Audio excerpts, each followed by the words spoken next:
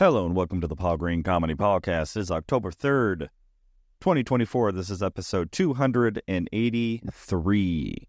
Stand up comedian, actor, improviser, and dreamer.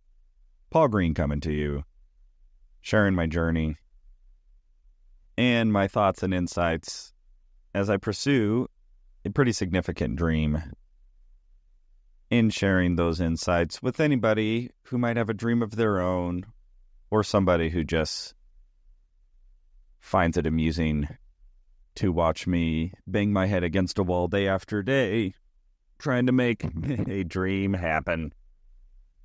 I am here for your entertainment. So, this week has been pretty low key following what has been a couple intense uh week matter uh, weeks matter of fact september was just a pretty intense month I had so much travel going on. I spent a week in LA at the Magic Castle. I then spent a weekend in Iowa. I then spent a weekend in Las Vegas with a stop off in Yuma. So it has been a wild it's been a wild ride, I'll tell you what. It's it's weird. I do not know why I just thought of old school Johnny Carson there. So, yeah, this week has just been me regrouping after a very grueling competitive weekend at the World Series of Comedy up in Las Vegas, where I made it to the final six, but unfortunately did not advance to the final three. And I so badly wanted to go to that final three, but it was not meant to be. So last night I started writing again. I haven't really been writing that much over the last couple of weeks just because I've been traveling so much and I was in a position to where I needed to get ready for the World Series of Comedy. So all of my energy was going towards really refining the material I already have and getting it ready for ready for competition. So I wasn't really coming up with or trying to come up with new material. And so yeah, last night went and got me some food late and pulled out the old notebook and started writing and started trying to come up with some new material. And ultimately, my sights are on the World Series of Comedy next year, 2025, baby. And I want to see if I can take my comedy to the next level and get to a point to where I can make it to that top three. You know what I mean? So that's that's the long term goal. So we'll see how that goes. But to me it's it's a lot more than just, oh, I got to write more, I got to write more. To me it's I've really got to see how I can get my comedy to whatever that next level is. I was talking to a friend about this last night, and I just said, I talked about how the, the guy who won the whole competition, a guy named Cody Woods, I saw his, um, when I first saw him perform, I just went, oh, yeah, he's the guy. He's taking this whole thing. And it was just undeniable to me. And that is something that I've always thought about, which is the old Steve Martin quote just become so good that they can't deny you. And, you know, in Vegas, I was pretty good. But I wasn't undeniable, undeniable because I got denied. And there's many ways to process that. I think what is far an easy way to process that is to blame, oh, this is all subjective. Oh, this is bullcrap. Oh, the judges were biased based off of this reason or that reason, or, you know, it wasn't fair, you know, all of that sort of stuff. And believe me, there's been plenty of times in my life when I have gone that route. I have done so many comedy festivals and comedy competitions that just didn't quite go as well for me. And instead of me just saying, okay, what did I learn? How can I improve? Maybe I got a little bitter or, you know, wanted to blame anyone and everyone else other than myself. So, yes, comedy is subjective. And yes, not every, you know, comedian is going to be everybody's cup of tea, but there is such a thing as being undeniable. And like I said, when I saw that that comic perform, I just went, "Yeah, I think he's going to take it," and he did. And so there you go. That to me is just something to look at and to study and to say, all right, my comedy sets, they were really good. They were really strong. They got me to the top six. But what is missing? What is the what is the uh, I don't know if it's necessarily a missing element or not, but it's just how can I craft the next set of comedy to be all the more funny? And um, that's the challenge. That's the opportunity. Instead of being bitter about it, instead of moping, groping, blaming everybody else, just go, cool. I got to this level. What can I do to get to the next level? And I have some ideas. Um, one of the ideas that I'll share is this concept that I've I've thought a lot about which is the idea of art versus fame and popularity. And I think about this a lot because over the years, as I have been involved in artistic, creative pursuits to one degree or another almost my entire life. I mean, ever since a kid, I was involved in music and band and playing drums and piano and guitar and singing and playing in bands. And then I got involved in drama in high school. And then even in college, I was playing in jazz bands. I did a lot more music early on in my life and wasn't really doing anything comedically or acting except for a few things here or there. And it wasn't till later in my life that I started doing comedy and less music. But throughout all of my artistic, creative pursuits, there seems to be this uh, I don't know if it's a debate. I don't really know how to describe it, but there just seems to be this philosophical uh gosh I'm struggling how to articulate this.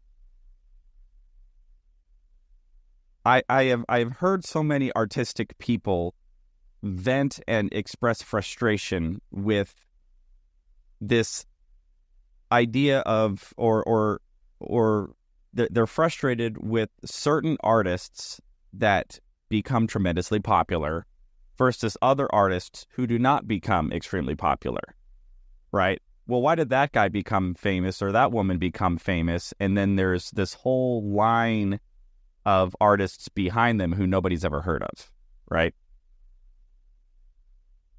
And this can be artists in any pursuit, you know, actors.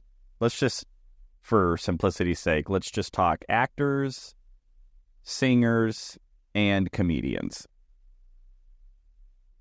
Right? It's like, why is Taylor Swift a billionaire when there's another 100,000 singer songwriters who nobody's ever heard of who are you know, playing for tips and coffee shops across the world and you know are not even close to even being able to make a make a living as a singer because it's like really hard. And yet Taylor Swift is a billionaire right and you can look at that with comedians. Why is Jerry Seinfeld a billionaire as a stand-up comedian? And then obviously he became an actor and a producer but he started as a stand-up comedian or Kevin Hart. Kevin Hart is worth millions of dollars. You can go to the acting route like why is Tom Cruise worth hundreds of millions of dollars? Right? And it can be very frustrating for so many artists who are living hand to mouth. And as part of that frustration there's almost this um, resentment or there's this criticism that these artists who do become insanely popular that they are somehow selling out. They are somehow um, not really true artists right? It's like people will point to some other factor as to why they are so famous, which, by the way, is probably true in a lot of cases. It's like, yes, Taylor Swift is a singer songwriter, but she also is incredibly beautiful and attractive. And that definitely helps somebody become a pop star. Sure, Tom Cruise is a good actor, but, you know, he was also traditionally handsome and leading male handsome ever since, you know, he was a kid. So I don't want to suggest that there is not a element of superficiality to some degree that plays a role in somebody becoming famous over somebody else. However, along with this sort of cynical viewpoint that I that I've just come up against, and I've and, and that I've thought myself, um, is this idea that because their art is universally appealing, that it's not true art. And it's not true art because it's popular. And that has always that has always baffled me a little bit because the insinuation is the only way to be truly artistic is to be so niche and to be so unpopular that that like no that you aren't popular or you aren't famous. Now, I'm not saying every artist thinks or feel that. I'm I'm not saying that that is that every actor, comedian, singer, songwriter feels that way but I do, again, I, I do encounter that sort of philosophical cynicism a lot, especially in Los Angeles. Like in Los Angeles, I, I cannot tell you how many actors and actresses and models and comedians I met. And it's so interesting to me because so many of them seem to have this disdain for capitalism and this disdain for you know, corporate uh, greed and this disdain for for wealthy people. Really, like like almost a hatred for billionaires and multimillionaires. Um, and they feel that. And again, I'm I know I'm totally overgeneralizing here. I'm I'm sort of accumulating. I'm kind of creating an archetype of this sort of artistic person, which again, I, I've just had so many conversations and heard so much cynicism and discouragement from so many artists and performers over the years that that's that's sort of the the the collective um, archetype of all of these artists that I'm drawing upon, and it's like artists who actually, of their own right, have pretty big ambitions. Like all of them want to be rich and famous. That's why they're in LA, right? They're in LA to pursue a dream, to pursue acting in the hopes that they will get a big break and that they themselves will be rich and famous, yet at the same time, they seem to have a very healthy disdain for rich for rich famous people and have a have a tendency to be very cynical and critical of those artists who did get big breaks and who did become incredibly famous. And they don't feel that the people who get famous or get wealthy really deserved it or that they're really true artists or that they are um you know or that they were just sellouts or that the only reason that they're famous is for some sort of um lucky reason you know they're again they're really attractive or you know what like whatever it is and again i'm not saying there isn't some truth to that however I see any incredibly famous artist, let's go with T Swift, how could you not? I go, well, yes, okay. She has some intangibles. She had some lucky breaks. She's tall, she's slender, she's beautiful. Sure. However, her music is also universally appealing to hundreds of millions, if not billions of people, to the point to where you know, I can hear her sing a song about being the nerdy teenage girl who can't get the attention of the boy because he's dating the cheerleader, even though she's not the good fit for him. And I totally get that song. And I've I have sung along to that song as a 40 year old man. You know, going, yeah, can't you see you belong with me? Like that song even resonates with me although I have never been a teenage girl. Um, and to me, I go, well, what's more artistic than being able to stir the emotions of the most amount of people?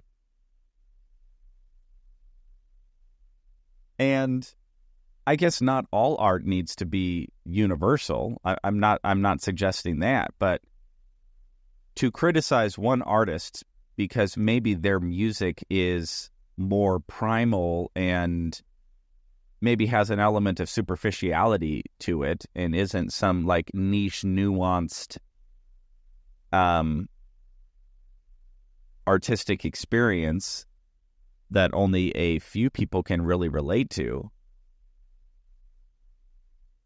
yeah, I don't know. I I don't know if that makes makes it less artistic because it is popular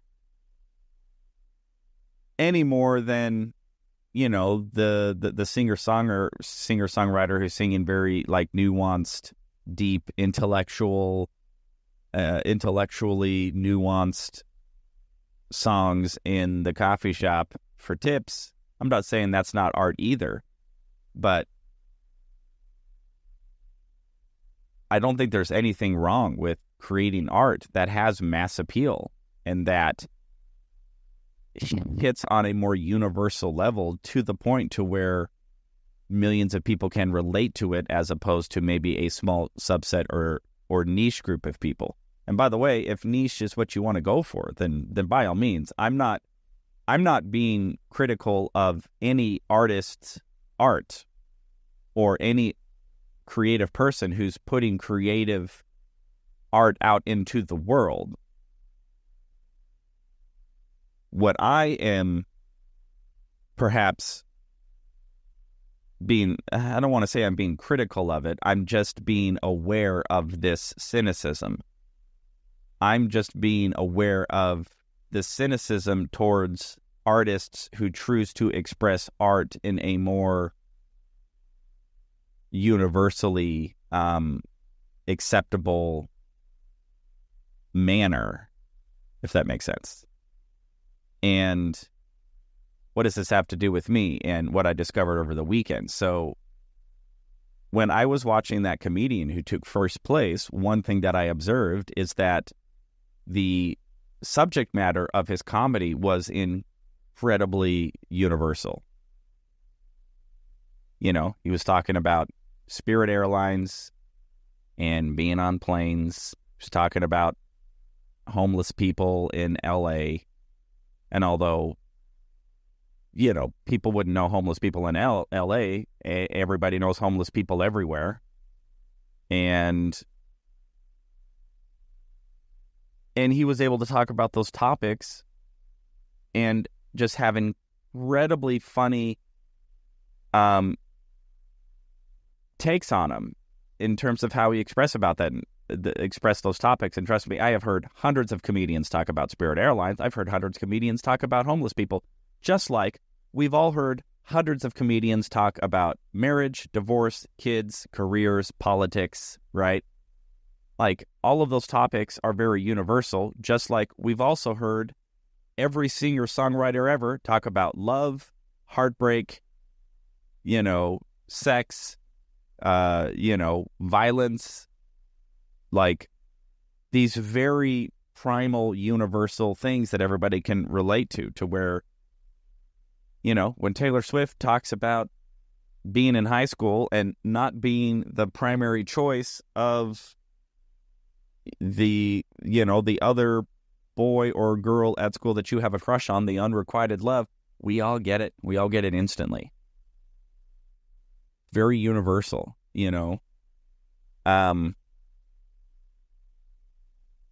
And that is what I am starting to look at now in my comedy. It's like is is my comedy maybe a little too niche, a little too you know, I'm trying to be a little too intellectual. I'm trying to be a little too above the audience in a way. It's like I had this whole bit about Shakespeare. you know what I mean? Just like you know, it, it was and it was decently funny. People got it. I, I was able to make it relatable, but you know, it's Shakespeare. What a, what a niche um, thing to talk about. Or you know, I, I do this whole bit about people who played the bassoon. Most people don't even know what the bassoon is. So that's been what I'm starting to look at is am I trying to be a little too artsy with my art? A little too, well, maybe nobody knows what I'm talking about, but I'm an artist and I don't need um, to sell out and just talk about all of these basic dumb things that only like the dumb general populace likes. It's just like, or can I just say, you want to what? I'm a human too, and I have all of these same primal needs and thoughts and opinions and how can I be more relatable? How can I talk about what most human beings have experienced in their life instead of being all artsy? Yeah. Anyway, so that is what I'm going to be focusing on moving forward as I start preparing for next year's World Series of Comedy and trying to figure out what sort of topics and uh, material I can generate between now and then. So that's what I will be focusing on. So, all right, I ranted a little bit longer than I thought I was on that. So, those of you who follow the podcast know that I'd like to end the podcast talking about a book that's inspiring me to follow my dreams and helping encourage me. And I just finished The Magic of Thinking Big. And overall, I'm just going to wrap up because this podcast getting a little long and I got to bounce for today. But overall, really love the book, The Magic of Thinking Big, and all of the elements of looking at your mindset, looking at my mindset, and how can I challenge the way that I'm processing the world, processing my thoughts, my emotions, my feelings, and always looking for opportunities to expand my mind to the point to where my mind is working for me and not against me and that I'm looking for all of the opportunities out there instead of looking for all of the ways that things can go bad, looking for ways that things can be successful instead of how they can be failure. Looking for my, um, looking and analyzing my successes and how I can be more successful instead of allowing myself to get weighed down and discouraged by my failures. And it, uh, man, the more that I pursue this dream, the more that I go for it, the more that I am cognizant of how significant my mindset is in so many decisions that I make throughout the day and that it behooves me and I think it behooves all of us to start by looking at our mindsets. If our life isn't the way we want it to be, look at the mindset. If you're experiencing heartbreaking discouragements and things aren't going the way that you had hoped, look at the mindset. If you want to expand beyond where you are, you want to grow, you want to have better experiences, more expansive experiences, more fulfilling experiences, look at your mindset and start from start with your mindset and then go from there analyze it's it's kind of trippy but it's like you almost have to step outside of yourself and then look at what you are thinking and feeling in any given moment and then go huh i'm thinking and feeling this right now but why am i thinking and feeling that this thing happened and now i'm discouraged or this thing happened and i'm offended it's like oh, well, why am I offended? Why am I choosing offense? Even if somebody said something offensive, it's like, okay, so let's say somebody said something to you that's objectively offensive, right? Well, sure, they said this offensive thing, but then why am I choosing to be offended at it? Because them saying something offensive actually has nothing to do with me. That's what they chose to say. But I'm the one who's choosing to be offended. I'm the one who's cho- choosing to feel a certain way or to feel angry and then look at your actions. Oh, well, why did I take that action? Because the action was a choice. And man, it is uh it's not a it it's not a fun piece of pie to to to swallow. At least it hasn't been for me. I've had to swallow a lot of humble pies when I really looked back at certain ways that I was behaving to where in essence I thought that I was a victim of my thoughts and feelings but then when I really looked at it, I went like, oh no, I actually wasn't a victim of my thoughts and feelings. I was making choices to think and feel a certain way. And it felt automatic, it felt involuntary. But it's actually not voluntary. It's so, so much of what I think and feel is based off of a program, a neurological programming that I have installed or has been installed in my brain. And it's actually malleable. It's software. It can be deleted. I can update it. I can upload new programming. I can just choose to and use that new programming to choose to think and feel differently and allow my thoughts and emotions to lead me to different behaviors. And at the end of the day, it's the actions that I take into the world that enact the laws of Newtonian physics.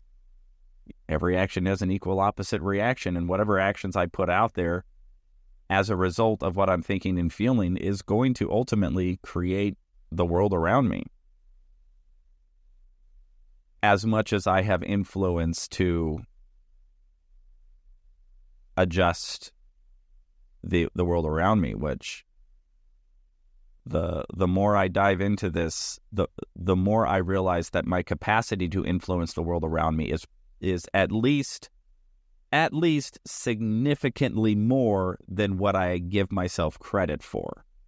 Now, I'm not saying I can, can you know, I can influence anything that anything that I think and feel or want or desire will happen immediately or will happen at all. But I will say, I I have learned that my capacity to influence the world around me is, again, significantly greater than what I have maybe allowed myself to think or believe in the past. And it might even be more than that. But I'm still on this journey and I'm still figuring out and trying to process and understand and comprehend what my life is about and what this world is all about and how I can move forward into this world having desires, dreams, fears, thoughts, passions, desires, weaknesses, strengths, and all of that. And take everything that is me and everything that is true and real, move forward into that world and challenge myself to see how much of life I can I can build and create to be the way that I desire it to be for myself. And it all starts with mindset for me. And really looking at how am I thinking, what am I thinking, how am I feeling, and why am I feeling that, and then looking at my behavior as a result. And just the more that I can be honest with myself and clear with myself and deliberate with those thoughts, feelings, and actions, the more I start to see the world realign itself in uh, con- consistent with those thoughts, feelings, and actions. Oh, wow. Got very uh, philosophical and cerebral there at the end. All right, everybody. I am going to let you off the hook for today. So that is the end of the Magic of Thinking Big. I already have my next book lined up, which is a book pretty much about the same topic, um, which is The Magic Mindset. And what had happened was is I saw this TikTok ad pop up for I think actually for the magic mindset. And so I went to Audible and I typed in like magic and then the magic of thinking big popped up. So I was like, so I think I bought that book when I actually meant to buy the other book, and so now I just had both of them in my queue. In my queue, so I finished the Magic of Thinking Big, and now I'm going to start listening to the Magic Mindset, and I will be talking about that book uh, throughout the next um, few episodes of the Paul Green Comedy Podcast. But for now, I'm going to sign off. I love you all so much. I hope your dreams are coming true. Keep at it, everybody. I believe in you there's so many great things to accomplish, so many great experiences to have, so much fulfilling life to be lived. And um, start with mindset, everybody. All right. I love you all so much. This is the Paul Green Comedy Podcast, October 3rd. By the way, happy birthday to my brother. I think it's today. I can never remember if it's the 3rd or the 4th of October. Happy birthday to my brother Mark. And um, I want to talk about a man who's living his dreams, has a large, beautiful family and is a force for good in his career as a therapist and incredible, incredible human being. So, anyway, all right, everybody. I love you all so much. Thanks for listening to the Paul Green Comedy Podcast, October 3rd, 2024, episode 283. I love you all so much. I'll talk to you tomorrow.